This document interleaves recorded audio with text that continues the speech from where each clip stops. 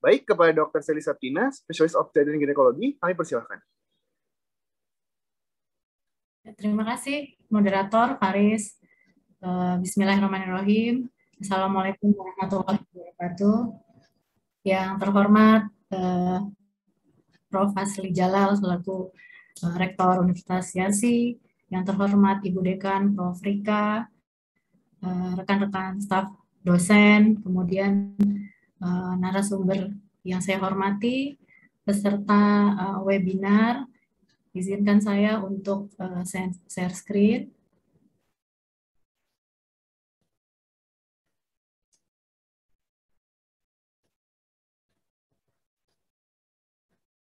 Ya, apa sudah terlihat slide saya, Haris? Sudah, dok. Ya, oke. Okay. Uh, eh, baik, saya mewakili bagian Objin Fakultas Kedokteran Universitas akan mencoba memaparkan Berikut adalah panduan untuk isolasi mandiri pada ibu hamil penderita COVID-19 yang telah disusun oleh Perhimpunan Obstetri dan Ginekologi Indonesia update terakhir akhir Juli 2021 kemarin. Jadi outline-nya di sini eh, kita semua sudah sama-sama mengenal COVID-19 itu apa, kemudian gejala-gejalanya apa saja, kemudian sampai ke varian terbaru seperti yang sudah dipaparkan Prof. Fasli dan Prof. Chandra Yoga sebelum ini. Nah, mungkin di sini kita lebih fokus kepada COVID-19 pada ibu hamil, kemudian dan pedoman isolasi mandiri sesuai pedoman yang telah dikeluarkan oleh uh, POGI.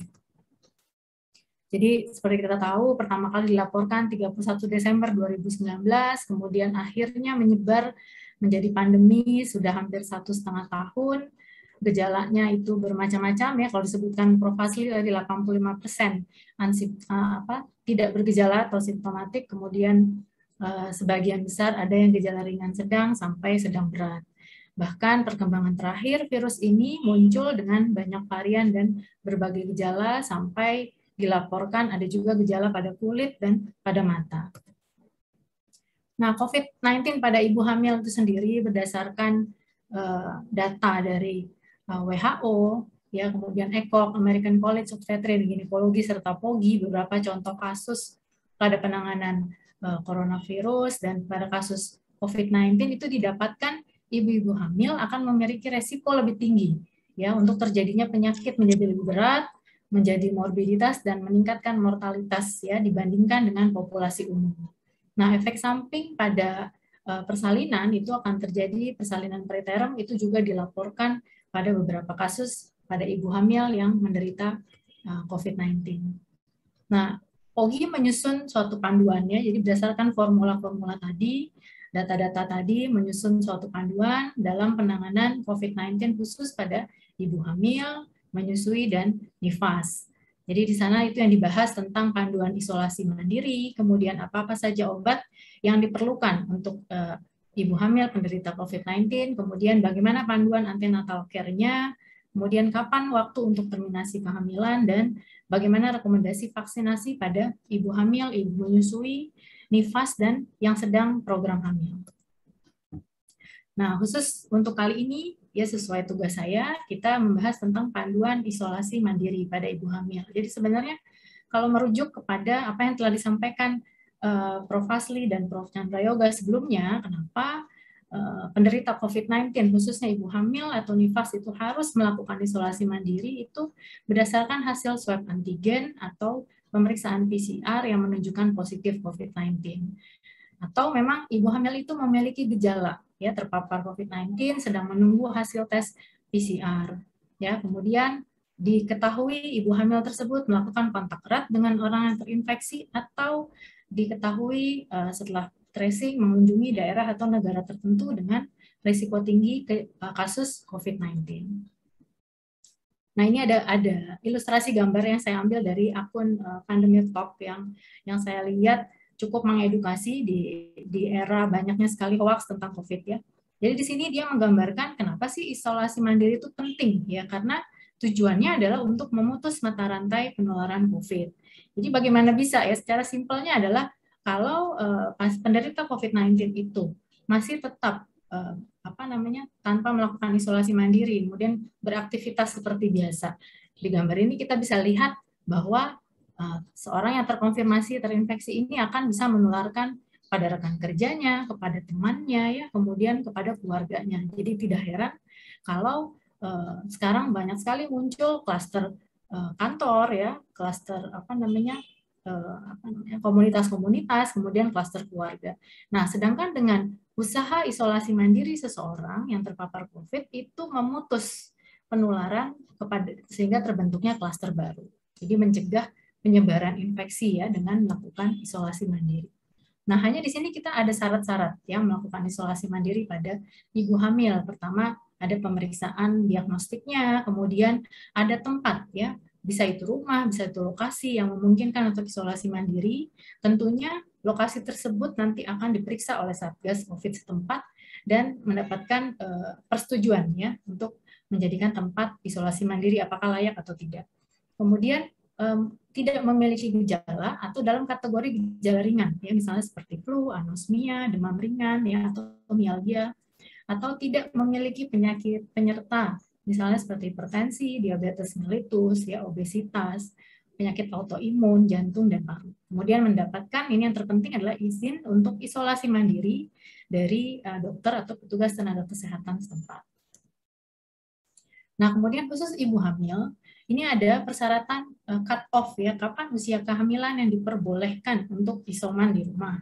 Jadi itu adalah di usia kehamilan di bawah 39 minggu. Kenapa?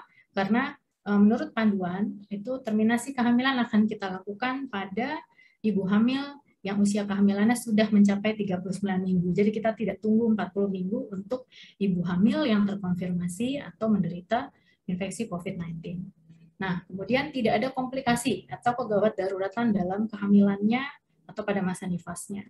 Atau uh, bila sudah masuk trimester 3, malah tidak belum ada tanda-tanda infarto atau tanda-tanda untuk persalinan.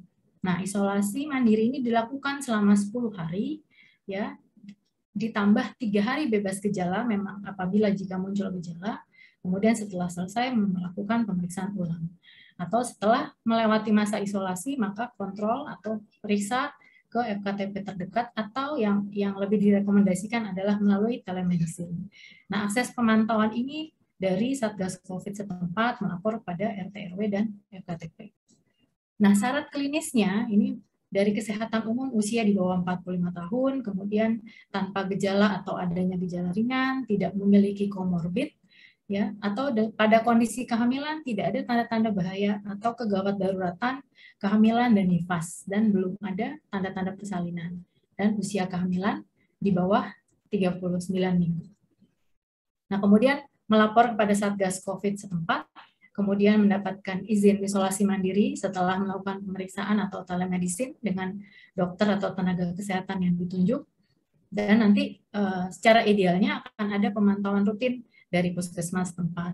Hanya memang pada saat kemarin ya yang uh, kasus sedang melonjak tajam naiknya itu yang saya dapat laporan bahwa uh, karena tugas kesehatan dari puskesmasnya pun banyak yang isoman, jadi pemantauan rutinnya tidak bisa dilakukan dengan kunjungan, tapi uh, melalui WhatsApp atau telepon. Ya, jadi uh, banyak keluhan dari masyarakat karena tidak dikunjungi oleh nakesnya ya, padahal nakesnya sendiri pun juga banyak yang terinfeksi. Nah, kemudian isoman itu dilakukan 10 hari atau plus 3 hari bebas gejala. Kemudian setelah selesai isoman, tidak perlu melakukan pemeriksaan ulang swab antigen. Kemudian eh, setelah melewati masa isolasi, itu harus mendapatkan eh, persetujuan setelah kontrol dari FKTP kapan eh, isolasi mandiri itu selesai. Nah, kemudian panduan dari POGI ini khusus ibu hamil, jadi yang akan isolasi mandiri di rumah sudah mendapatkan persetujuan, itu dibekali panduan konseling yang kemudian panduan isolasi di rumah berdasarkan protokol yang disusun oleh eh, yang terdapat pada surat edaran Menkes tahun 2020 tentang protokol isolasi mandiri dalam penanganan COVID-19. Kemudian mengingat kemungkinan persalinan prematur yang lebih tinggi pada ibu hamil penderita COVID-19, maka Eh, sebaiknya walaupun isolasi mandiri di rumah, ibu hamil itu ya menghindari pekerjaan berat, menghindari stres ya, kemudian berkomunikasi dengan petugas kesehatan, apalagi muncul tanda-tanda kegawat daruratan pada kehamilannya, misalnya muncul kontraksi, ya ada rasa tidak nyaman di perut bagian bawah atau keluar air-air ya, lendir campur darah dan seterusnya, segera lapor kepada petugas. Nah, kemudian ibu hamil yang sedang menjalani isolasi mandiri itu sebaiknya itu dibekali dengan uh, alat komunikasi dan nomor kontak petugas yang bisa dihubungi untuk konsultasi dengan uh, unit maternal terdekat di tingkat puskesmas atau petugas lain di FKTP dan petugas BKKBN ya. Dan kemudian nanti ada formulir penilaian diri atau self assessment. Jadi ada catatan harian untuk ibu hamil yang isoman itu kita minta uh, diisi supaya follow up-nya jelas dan nanti setelah selesai isolasi mandiri itu akan didokumentasikan ya. Nah, kemudian nanti ada juga uh, rawat bersama dengan Eh, kesehatan mental dari puskesmas, kesehatan jiwa, kemudian apabila diperlukan ada konsultasi dengan bagian psikiatri eh, atau dengan dokter dengan cara eh, telemedicine.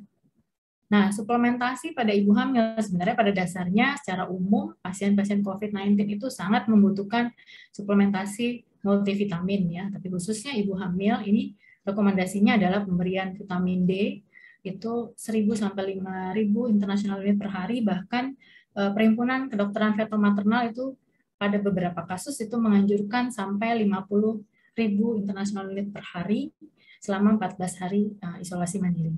Kemudian vitamin C itu pilihannya 500 mg uh, per 6 sampai 8 jam per hari itu untuk 14 hari. Kemudian ada multivitamin juga ini dianjurkan yang mengandung vitamin C, eh, B kompleks, vitamin E, dan zinc.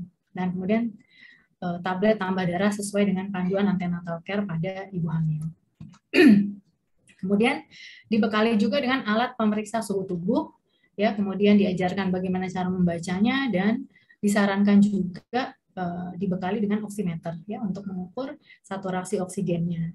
Dan ini juga yang tidak kalah pentingnya adalah kita minta ibu hamil untuk memantau ya bahwa kondisinya ini adakah arahnya ke arah perburukan. Jadi jika ada demam lebih dari 38 derajat Celcius terjadi terus-menerus walaupun sudah mengkonsumsi eh, apa namanya obat anti demam, kemudian frekuensi nafas yang lebih dari 24 kali per menit, denyut nadi lebih dari 100 kali per menit, kemudian ada rasa berat bernafas bahkan sampai sesak ya kemudian keluhan-keluhan lain ditambah dengan keluhan emergensi pada kehamilannya, kita minta untuk segera melapor pada petugas. Nah, laporan juga bisa dilakukan secara telemedicine yang didokumentasikan, kemudian nanti setelah selesai isolasi, maka akan dilaporkan kepada dokter di vaskes terdekat dan akan dinyatakan eh, selesai isolasi mandiri. Ya. Kemudian kita juga bekali ibunya dengan uh, cara menghitung gerakan bayi ya the Cardiff count to 10 jadi perhitungannya adalah 10 gerakan janin per 12 ya jadi kita minta pagi mulai dari jam 8 pagi sampai jam 8 malam kemudian nanti malam kita lanjutkan nah kalau per 12 jam itu tidak didapatkan gerakan minimal 10 kali maka kita akan minta ibu untuk melaporkan kepada petugas Nah, ibu hamil dengan resiko tinggi komorbid ya, ada penyakit asma, jantung, diabetes dan penyakit lainnya itu sangat disarankan untuk isolasi di tempat khusus ya. Jadi kalau memungkinkan isolasi langsung uh, isolasi pemantauan langsung oleh petugas atau fasilitas yang dipersiapkan rumah sakit atau Pemda dan jika ditambah dengan masalah kebidanan resiko tinggi, misalnya preeklamsia, placenta previa, riwayat perdarahan berulang, kemudian bekas seksio lebih dari satu kali, kemudian riwayat e, dirawat dengan ketuban pecah dini atau ancaman persalinan prematur, maka sangat disarankan untuk isolasi di rumah sakit. Nah, e, ibu hamil yang isolasi e, di rumah ini akan dibekali nomor petugas kesehatan yang fast respon, yang cepat bisa memberikan respon, bisa dari puskesmas, bisa dari bidan terdekat, tracer, ya, atau dari petugas BKKBN. Kemudian yang terkonfirmasi berat atau kritis, kemudian dipulangkan itu uh, telah sembuh dan dipulangkan, maka tetap melakukan isolasi mandiri minimal tujuh hari dalam rangka pemulihan dan kewaspadaan munculnya gejala COVID dan secara konsisten tetap menerapkan protokol kesehatan. Nah, ini yang yang sering kali terjadi ya. Jadi ibu hamil yang sudah selesai isolasi mandiri merasa sudah bebas. Ya, sudah bebas kemudian bisa beraktivitas seperti biasa, ya kadang-kadang ada yang lupa protokol kesehatan, nah jadinya uh, kita sedih nanti masuk trimester 3 ternyata terpapar lagi gitu ya. Jadi kita akan minta ibu hamil khususnya yang sudah mencapai trimester 3 itu sangat membatasi dirinya dengan kontak dengan orang lainnya atau tetap melakukan social distancing. Karena dari data itu uh, di dalam dan di luar negeri hampir lebih dari 90% ibu hamil yang harus dilakukan terminasi pada trimester 3 uh, itu akan sangat membutuhkan ruang rawat NICU, kemudian eh, ICU untuk ibunya dan angka mortalitas yang sangat tinggi untuk ibu ya di atas 90%. Jadi sangat diharapkan ibu hamil untuk tetap melakukan social distancing apalagi yang memasuki trimester 3 akhir. Kemudian waktu isolasi uh, itu tetap tanpa gejala 10 hari, kemudian jika ada gejala maka tambah tiga hari setelah bebas gejala. Nah, apa yang bisa kita sarankan? Jadi diukur dan dicatat suhu tubuh dan saturasi oksigen dua kali sehari, pagi dan malam. Kemudian bila ada sesak dan demam tinggi, segera hubungi petugas kesehatan. Tetap mengkonsumsi makanan yang dalam jumlah yang cukup dan bergizi. Kemudian suplementasi yang tadi sudah disebutkan kemudian konsumsi cairan, terutama apabila ibunya uh, dalam masa laktasi atau menyusui, lakukan olahraga ringan atau hobi-hobi lain ya yang kira-kira bisa mengurangi stresnya dalam masa isolasi mandiri dan istirahat cukup 6 sampai 8 jam. Nah, rutin memantau gerakan janin ya. Jadi per 12 jam itu minimal 10 gerakan, hindari stres. Kemudian uh, dibekali dengan buku KIA karena di buku KIA itu sudah lengkap sekali informasi-informasi tentang antenatal care. Jadi uh, kita minta ibu hamil juga membekali dirinya dengan dasar-dasar keilmuan bagaimana antenatal care. Nah, kemudian mendekatkan diri kepada uh, sang pencipta ya, jadi biar bisa lebih tenang, ikhlas menghadapi bahwa memang ini adalah cobaan untuk semua ya. Kemudian konsumsi obat-obatan simptomatik baik itu antivirus atau anti demam ya dan seterusnya atas rekomendasi dokter melalui pemeriksaan fisik sebelumnya atau melalui telemedicine dan kita minta ibu hamil juga mengisi logbook harian yaitu catatan harian rutin seperti ini. Jadi di sini kita lihat ada kolom untuk 14 14 hari ya.